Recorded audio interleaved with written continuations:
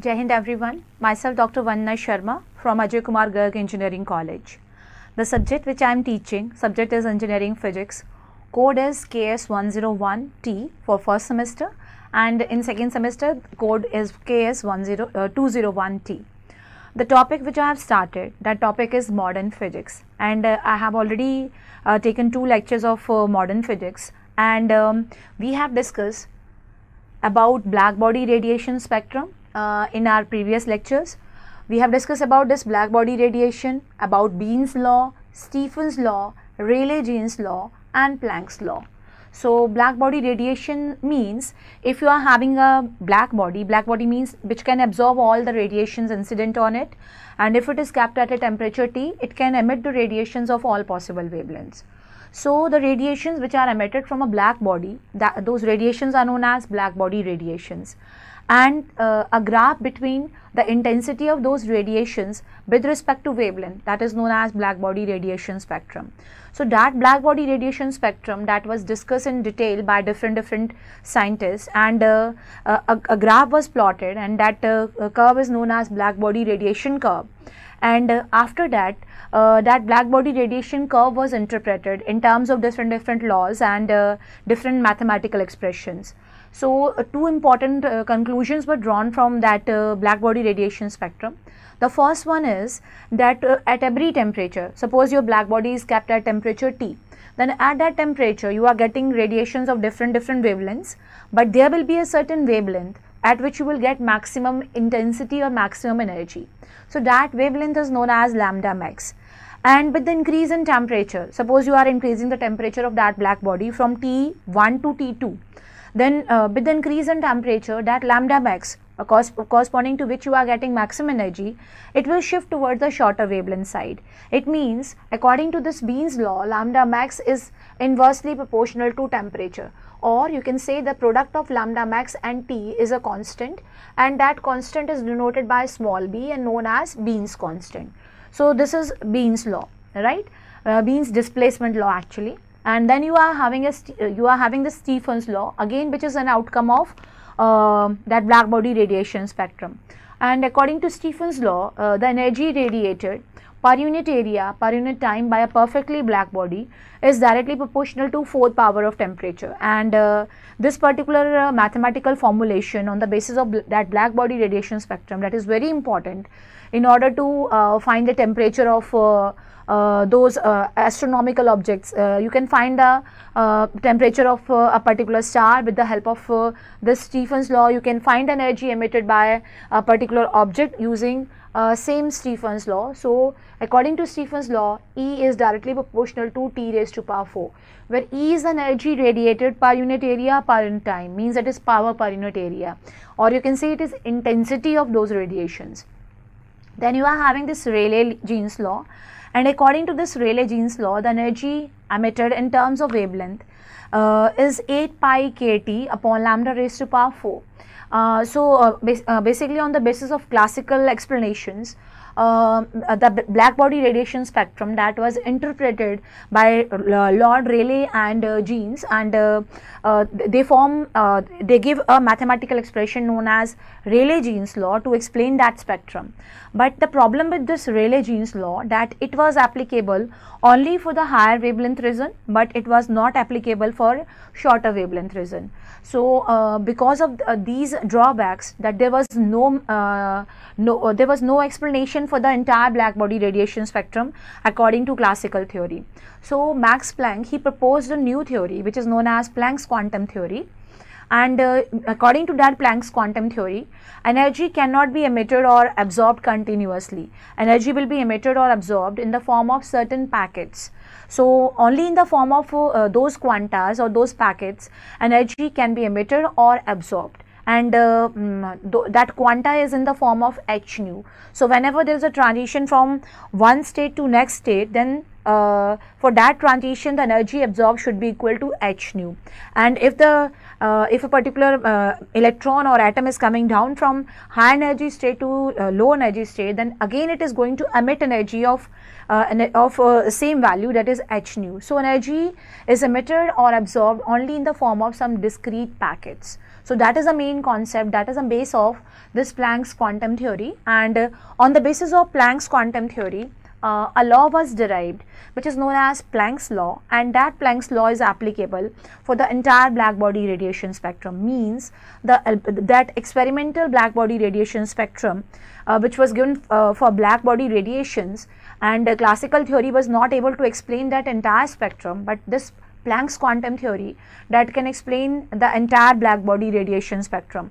And the beauty of this Planck's radiation law is that if you will um, apply this Planck's radiation law at low wavelength, then uh, that Planck's radiation law will satisfy the that will um, that will be applicable for the lower wavelength region. That will explain the lower part of that black body radiation spectrum. And if you will apply the conditions of uh, uh, a higher wavelength in that Planck's radiation law then again uh, that Planck's radiation law will explain the longer wavelength region means it can explain the entire black body radiation spectrum. So because of this, this quantum theory, Planck's quantum theory, this Planck's radiation law that is applicable uh, for black body radiations. So initially when Max Planck he proposed this theory, he proposed this theory only for black body radiations. But later on it was observed that this theory is applicable for all type of emitting objects all type of radiations, electromagnetic radiations. And uh, the topic which today I am going to start, that topic is wave particle duality. I have given you a small um, uh, introduction of this wave particle duality. Now today I am going to discuss uh, this topic in detail. So let me move to that particular slide uh, where we can get this wave particle duality. So we have already covered uh, all these uh, topics and today I am going to start with wave particle duality. So, mm, uh, from where this concept is starting, uh, actually we all know that light, when we are saying light or electromagnetic radiations, then light is having dual nature. Dual nature means it can show particle nature, sometime light is behaving like a particle and uh, sometime light will show wave nature. So, light is having this dual nature, it is having this characteristic that uh, light can show particle nature as well as a wave nature. As you know that light can show photoelectric effect, light can show Compton effect and uh, uh, if light will behave like a particle only then you can explain that uh, uh Compton effect as well as photoelectric effect. Similarly, you know that light can show interference, diffraction and polarization and all these optical phenomena, uh, they suggest that light is having wave nature. So, this concept started uh, this wave particle duality, it started with uh, electromagnetic radiations or light, right. Uh, now, this concept suggests that whenever we are having a microscopic particle and if that particle is moving, so what you have? You have a microscopic particle. You can say you have electron or a proton or a neutron and if that particle is moving and uh, that particle should move with a finite velocity, that should be the condition so, you have a particle, microscopic particle, you have to remember this thing that this concept is applicable only in microscopic world.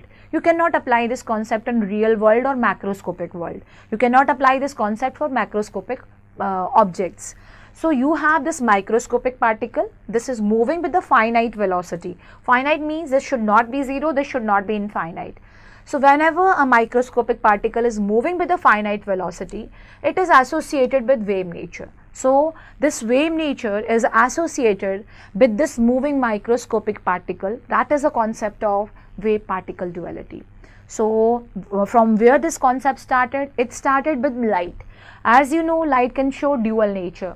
Sometime light is behaving like a particle, sometime it is showing wave nature. So, de Broglie in his PhD thesis, he proposed that whenever we have a microscopic particle, that particle can be a charged particle or you can say uncharged particle. So, whenever a microscopic particle is moving, it is always associated with wave nature that is associated with wave nature. This is this concept is known as wave particle duality. So, let me explain it now. Uh, I hope up to here everything is clear. So, the concept is on the basis of Planck's theory of thermal radiation, Einstein explanation of photoelectric effect, emission and absorption of radiation by substances, black body radiation undoubtedly established the electromagnetic radi sorry, give me one minute. Electromagnetic radiations consist of discrete individual packets of energy called photons which manifest particle character of radiation. So, that is an evidence for particle uh, character. On the other hand, optical phenomena like interference, diffraction and polarization, they formally confirm the wave character. So, whatever I have told you that uh, uh, light can show dual nature, particle as well as wave nature. Therefore, we conclude that electromagnetic radiations has dual character. In certain situation, it exhibit wave uh, property and in certain situation, it exhibit particle character. So, but uh, at one time, you can have particle nature or you can have wave nature. Simultaneously, you cannot observe both the phenomena. So, de Broglie, he proposed this um, dual nature for moving microscopic particles. So, in 1924, uh, Louis de Broglie suggested that matter must exhibit wave-like properties in addition to particle nature. So, de Broglie he generalized this concept uh, on the basis of uh, dual nature of light, right. So, what he suggested, his theory was based on the following fact, the entire universe consists of matter and energy also. So, entire uh, matter and energy can be transformed into each other. Matter can be transformed into energy, energy can be converted into matter. Means mass can be converted into energy, energy can be converted to, into mass. Uh, that we have already discussed in uh, relativity. According to de Broglie hypothesis, a moving particle. So, as I mentioned, if you have a moving particle, a moving particle is surrounded by a wave means whenever you have a moving microscopic particle, it is associated with wave nature. A matter wave is associated with that moving particle. The wavelength of that wave depends upon the mass of particle and uh, it also depends upon the velocity of the particle. The wave associated with the particle is known as matter wave or de Broglie wave. So, you can uh, you can uh, name that uh, uh, wave nature or that wave as matter wave or you can say de Broglie wave. So, I hope it is clear now. So, the wavelength of the matter wave is given by lambda is equal to h upon mv. So, this is the wavelength of the matter wave associated with the moving microscopic particle. What is this lambda? This is the wavelength. So, as I mentioned in my last, last lecture, lambda represents the wave character and this m into v is the momentum and uh, this is the momentum of particle. It means the right hand side that uh, represents the particle character whereas left hand side represents the wave nature and uh, you know what is h here h is Planck's constant and you also know what is the value of that Planck's constant. Planck's constant is 6.625 into 10 raised to power minus 34 joule second. So not now what I am going to do here, I am going to express that de Broglie wavelength. So I am going to find that expression for de Broglie wavelength and how we are going to do that.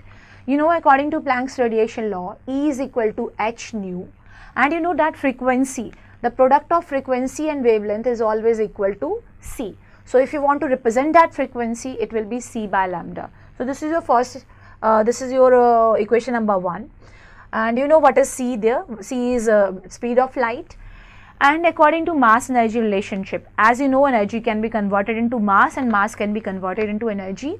So, E is mc square. So, you are having that E hc by lambda and one more expression is there E is equal to mc square. Now compare this 1 with 2. So if you are comparing 1 with 2 what you are getting? You are getting hc by lambda is equal to mc square. So what, uh, what is the conclusion from here? Lambda is equal to h upon mc. So this is your conclusion. Uh, if we consider the case of a material particle of mass m and moving with velocity v then the wavelength associated with will be h upon mv. So, if you are talking about a material particle which is moving with the velocity v, then this wavelength will be equal to h upon sorry h upon mv and you know this m into v that is momentum. So, this uh, equation number 4 that represents the de Broglie wavelength associated with the moving particle which is having a momentum p. So what you have? You have a particle. m is the mass of that particle. That particle is moving with this velocity. It means the momentum of particle is m into v. So this particle according to de Broglie's concept, this particle is associated with wave nature and the wavelength associated with that matter wave is h upon mv or you can say h upon p. So this is the expression for de Broglie wavelength. Uh, I hope you have uh, you have already uh, done this uh, uh, derivation in your uh, lower classes. So, there is just quick review of this. So what you have? You have equation number 1 according to Planck's radiation law E is h nu or you can say h c by lambda. You know E is mc square just compare 1 with 2 then you are getting lambda is equal to h upon mc. So on the similar lines if you have a particle which is moving with the finite velocity v then lambda will be equal to h upon mv right. And uh, one more uh, interesting point is here lambda that is a that represents the wave character and you know this momentum p that represents the particle behavior. It means this equation itself is going to correlate particle nature with wave nature right. So, I hope this is clear.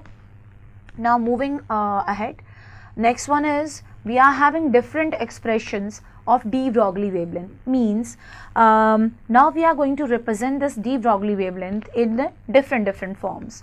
So, suppose you have a particle and this particle is having mass m and that particle is moving and let k is the kinetic energy of that particle.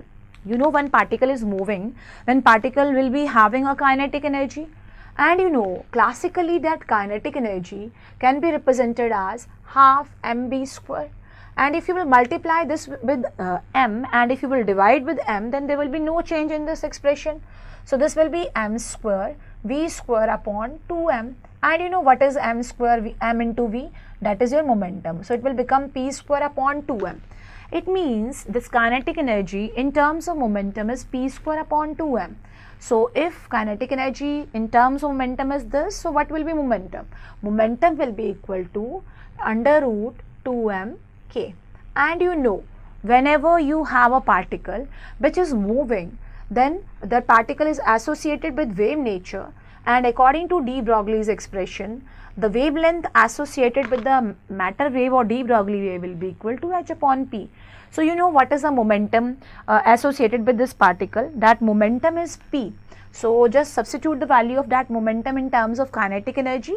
So, what you are getting? You are getting the expression for de Broglie wavelength in terms of kinetic energy um, in this uh, particular case the kinetic energy is expressed by E. So, that is why you are getting under root 2 m E. So, if you are representing it with k then it will be under root 2 m k. I hope this is clear. So, what I have uh, told you here that you have a particle and that particle is moving. So, it is having a kinetic energy. So, I am just taking the general uh, expression or general representation for kinetic energy. K is the kinetic energy, K is half mv square which is um, m square upon m square v square upon 2m it is p square upon 2m so momentum is 2mk so if you are representing kinetic energy by k then this is momentum. If you are representing kinetic energy with e then it will be under root 2me what is e here? E is kinetic energy here. So the expression for de Broglie wavelength is h upon under root 2me i hope this is clear. Uh, now you can solve questions based upon this suppose you have a particle and uh, let the uh, mass of that particle is known. So, if mass is known and kinetic energy is also known, then you can find the de Broglie wavelength. It, it will be h upon under root 2mk or you can say 2me that uh, where k represents kinetic energy or E represents kinetic energy. But you have to remember one thing that this kinetic energy, this expression of kinetic energy which is half mv square that is applicable only in classical mechanics in classical mechanics, you can say the kinetic energy is half mv square. But in relativistic mechanics, when a particle is moving with a very high velocity which is comparable to c, you cannot apply the same concept you cannot apply the same expression for kinetic energy. So, that you have to remember. So, uh, that expression we will uh, solve uh, using the concepts of relativistic mechanics. So, I hope the first one is clear. So, up to now what we have uh, done, we have derived an expression for de Broglie wavelength and you know what is de Broglie wavelength? de Broglie wavelength is your lambda is equal to h upon p. This is the simplest expression. Second one in terms of kinetic energy. If you are representing kinetic energy with E then the expression is h upon under root 2 me. How you have derived it? Uh, that uh, I have explained here. Now moving on to next one. In terms of voltage, now suppose you have a charge particle. You have a charge particle like electron, proton. So if you have you have a charge particle and let E is the charge on that particle and if that particle is accelerated through a potential of V volt, what you have? you have a charge particle and you are applying a potential difference in order to accelerate that particle. So, let that V volt is the potential difference or the voltage which you are applying over that uh, charge particle. So, you know if uh, the charge is known and uh, the voltage which you are applying if that is also known what will be the kinetic energy? That kinetic energy I am representing kinetic energy with E here. So, you know that kinetic energy will be equal to uh, what will be that? That will be equal to E into V. Uh, you know how I am writing this? Kinetic energy is E into V. So, it, this is for a charge particle. E into V if E is the charge, Q into V if Q is the charge. So, you know what is the expression for de Broglie wavelength in terms of kinetic energy? It is simply h upon under root 2 m E. And what is your E now? This E is E into V. So, if you have a charge particle, then the de Broglie wavelength is equal to this. You know what is h? h is Planck's constant. You know what is m? m will be the mass of that charge particle, E will be the, uh, sorry, m will be mass, E will be the charge and V is the potential or voltage through which you are accelerating that charge particle. If this charge particle is an electron, you know what is the mass of electron? Mass of electron is 9.1 into 10 raised to power minus 31 kg. And you know what is the charge on uh, electron? Charge on the electron is 1.6 into 10 raised to power minus 19 coulomb, right? So, accordingly, depending upon the charge particle, you can apply this concept and uh, you can find the de Broglie wavelength associated with the matter wave associated with that moving charge particle, right. So, this is another expression uh, in terms of voltage. Next one is if you are having a particle and if that particle follows kinetic theory of gases. Kinetic theory of gases means according to kinetic theory of gases the kinetic uh, energy suppose you are having um, a container and in that container you are having a gas which is kept at a temperature T then uh, those uh, atoms, ions or molecules of, of the gas, they are moving randomly, they are moving uh, in that particular chamber or in that container.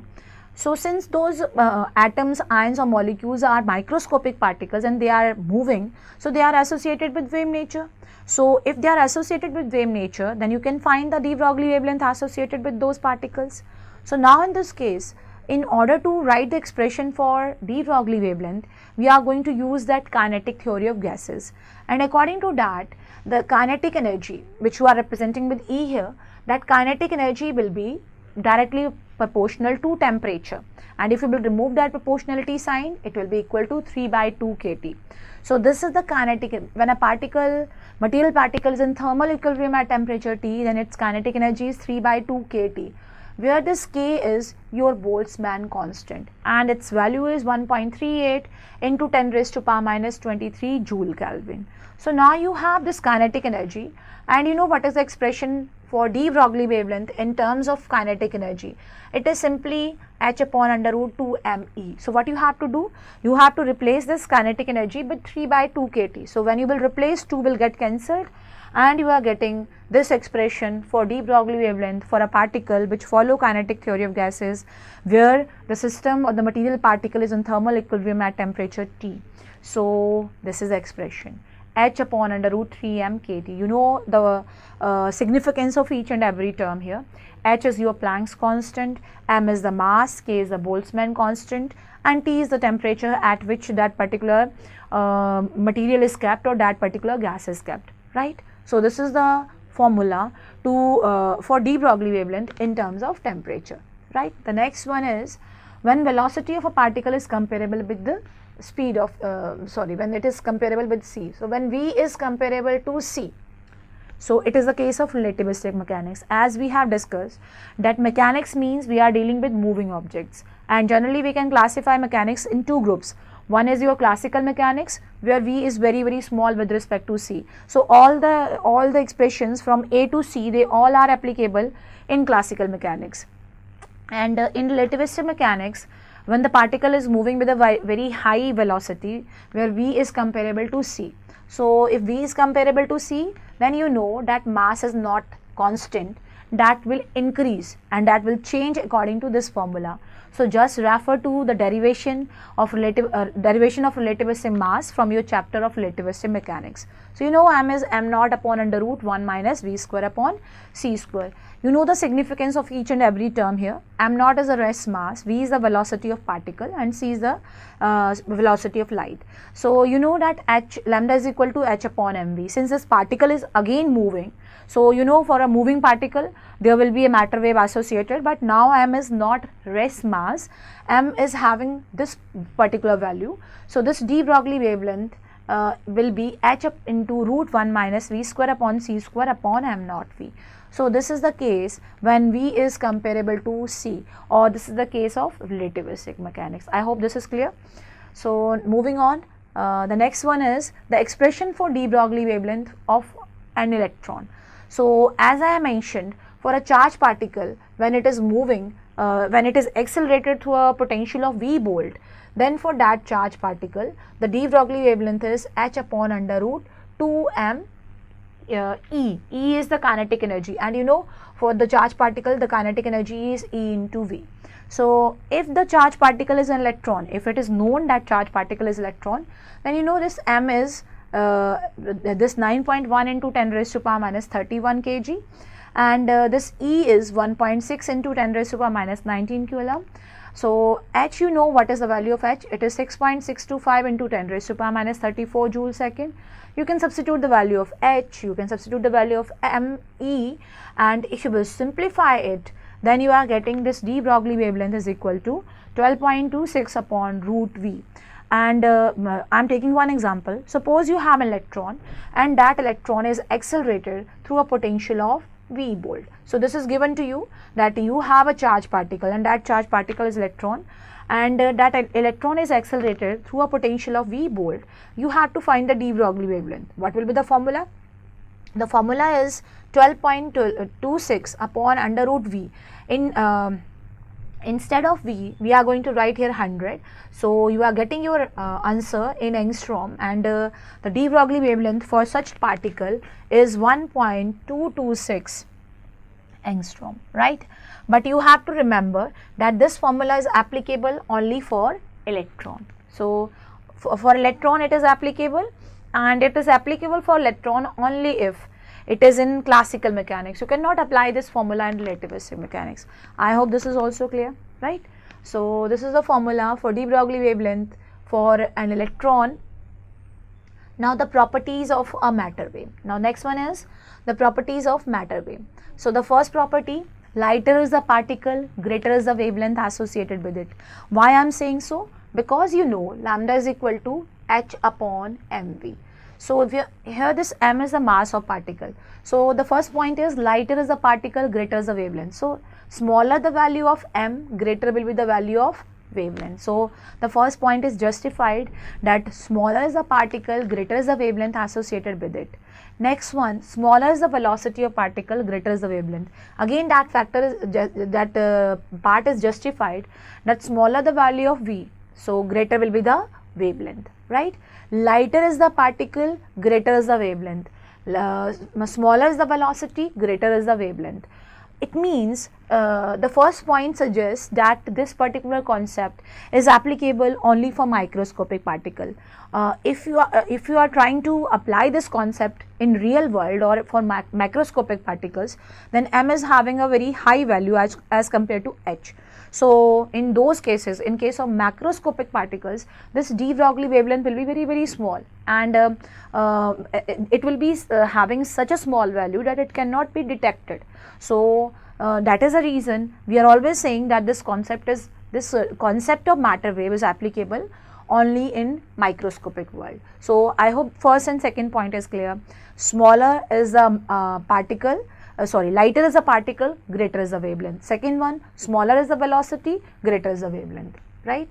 So, next one is, next concept is, when V is equal to 0 and um, uh, lambda then lambda is infinite again you know the reason why uh, this is written if v is 0 you know lambda is equal to h upon m into v so if you are saying this that this velocity is 0 then what will be lambda? Lambda will be infinite. It means that the matter wave cannot exist if particle is not moving. It means that the concept of matter wave is applicable only if the particle is, is in motion.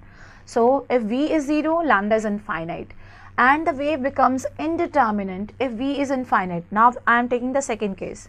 If V is infinite, this is the second case. If you are saying V is infinite, then lambda is 0. Uh, I hope uh, this is clear. It means uh, that concept of matter wave is applicable only if the particle is moving with a finite velocity. Uh, v should not be equal to 0, it should not be infinite, in both the cases that concept of matter wave is not applicable.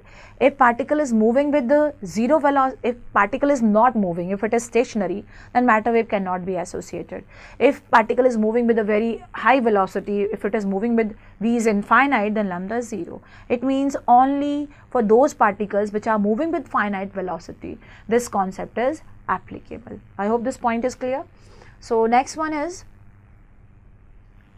matter waves are charge uh, independent. Means if you are having a charged particle and if it is moving then matter wave is associated. If you are having an uncharged particle again if it is moving then it is associated with matter wave. Means uh, irrespective of this fact that whether the particle is uncharged or charged uh, that moving microscopic particle will be associated with uh, wave nature. So, that is the next uh, point related to uh, matter wave. Next one is the wave and particle aspect of moving bodies can never appear together in same experiment. Means at one time either you can have particle nature or you can have wave nature. Simultaneously you cannot observe both the phenomena. I hope this point is clear. So, uh, according to this uh, according to the concept of matter wave at one time either you are observing particle behavior or you are ob observing wave nature. Next one is the wave nature of matter introduces an uncertainty in location of position of particle. So what is the meaning of that? The meaning of this is meaning of this is I hope you have heard about uh, Heisenberg uncertainty principle. Heisenberg uncertainty principle suggests that um, in uh, microscopic world at one time you can be sure about position or you can be sure about momentum but simultaneously you cannot be sure about both the parameters and this particular concept this uncertainty principle actually it is the outcome of wave particle duality. At one time either you can have particle nature or you can have wave nature but simultaneously you cannot observe both the phenomena right. So, what I am saying according to uncertainty principle if you are having a moving microscopic particle then for that moving microscopic particle uh, at one time uh, you can measure uh, the uncertainty in position, you can measure the position with certainty or you can measure the momentum with certainty. But simultaneously, you cannot measure both the parameters with accuracy. Clear? So, uh, that concept of uh, uncertainty principle that is also the outcome of this wave particle duality and a very important point which you have to remember that you cannot simultaneously uh, observe both the uh, phenomena at one time you are getting particle nature or you are getting wave nature right. So, uh, these are the properties of matter wave and uh, now the difference between EM wave and matter wave right. So, the first point the first difference is the matter waves are associated with moving particles right uh, irrespective of this fact that whether the particle is charged or uncharged. Uh, this uh, concept of matter wave is applicable uh, for all moving particles. So, that particle can be charged particle or uncharged particle. So, that is the first point. Whereas, you know that light or you can say electromagnetic wave that is associated only with accelerated charged particles. So, that is the main difference. When you are saying uh, light or electromagnetic wave, it is associated with accelerated charge particle. When I am saying matter wave, it can it is associated with moving or accelerated particles that particle can be charged that particle can be uncharged. Second one uh, matter wave travels with different velocities they are uh, different um, uh, depending upon the velocity of particle the matter wave is also having different different velocities whereas uh, the electromagnetic wave travel with same velocity. Next point uh, the matter the velocity of matter wave it depends upon particle velocity whereas in case of electromagnetic wave it is it depends upon the medium. And for a certain medium the velocity of electromagnetic wave is constant. Means if uh, light is traveling uh, in air or uh, in vacuum uh, then it is having a fixed velocity. If it is traveling in a particular medium a conducting medium then it is having different velocity. Means that velocity depends upon medium in, in electromagnetic wave whereas in matter wave it depends upon uh, the velocity of the particle uh, matter wave cannot travel in vacuum whereas electromagnetic wave can travel in vacuum, right. Next one, uh, they are not emitted from the particles, they are associated with the particles. These matter wave, this concept, according to this, whenever you have a microscopic particle and it, if, if it is moving, then a matter wave is associated with it. So, it is not actually emitted from the particle, whereas electromagnetic radiations, they are emitted from charged particles. So, these are the few differences between matter wave and electromagnetic wave. So, what I have told you here, I have told you about um, uh, the different, uh, sorry, I have told you about uh, the wave particle duality that whenever a microscopic particle is moving, it is associated with wave nature. And according to de Broglie, that uh, wavelength which is associated with the matter wave is equal to h upon mv or you can say h upon p. So, this is the simplest expression in terms of kinetic energy, the formula is h upon under root 2me where E is the kinetic energy. For a charged particle, uh, we have derived the formula and the formula is h upon under root 2m eV. And if the charged particle is electron, you know the formula is 12.26 upon under root V, but this uh, de Broglie wavelength will be in terms of angstrom. And if the particle follows, uh, if you want to write the uh, expression for de Broglie wavelength in terms of temperature, then it is h upon under root 3 m kT right. So, these are the different expressions which we have derived in today's lecture for de Broglie wavelength right. After that, uh, after that we have discussed about the characteristics of matter wave and uh, in this uh, slide you can see the differences between matter wave and electromagnetic wave. Now, from the next uh, lecture, I am going to start a very, uh, sorry, these are few applications of uh, this de Broglie concept. It is having tremendous application. I have mentioned a few.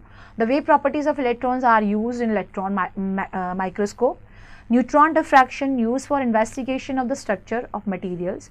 So, again that wave characteristic or uh, that concept, de Broglie concept is used. This concept is the basis of quantum mechanics, means um, in quantum mechanics, uh, all the parameters which are associated with moving microscopic particles, those parameters they are calculated using the concept of wave particle duality. So, this concept is the base of quantum mechanics and it leads to uncertainty principle. So, these are the few applications and from the next lecture I am going to start uh, a very important and a very beautiful equation uh, which will represents the wave nature of moving microscopic particles and that is your Schrodinger wave equations and uh, we will discuss a new function which is known as Schrodinger wave function. So, up to uh, that is all for today's lecture. So, thank you so much.